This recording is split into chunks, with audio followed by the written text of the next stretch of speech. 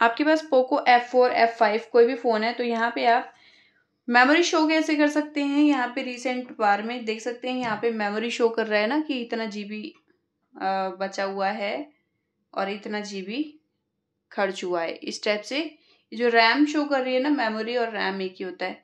तो इसको शो करने के लिए आप जाएँगे सेटिंग पे स्क्रॉल करेंगे और होम स्क्रीन पे क्लिक करेंगे। इस टाइप से ऑप्शन आएगा। अब यहाँ पे शो मेमोरी स्टेटस ये ऑन रहेगा।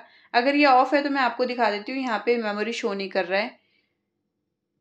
और इसको मैं ऑन कर देती हूँ।